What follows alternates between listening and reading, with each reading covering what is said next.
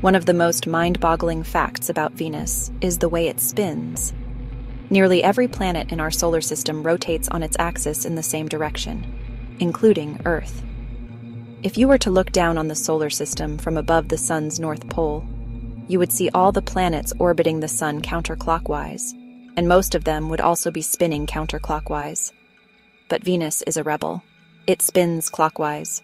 This is known as retrograde rotation. This backward spin has a very strange effect on the planet's day.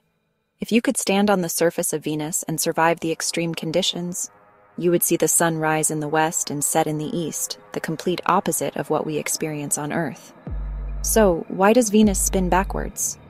Scientists have a few leading theories, but no one knows for sure. One popular idea is that early in its history, Venus was hit by a giant asteroid or another planet sized object. A massive impact like that could have been powerful enough to not just slow down its original spin, but to completely reverse it. It would have been a catastrophic event that forever changed the planet's destiny.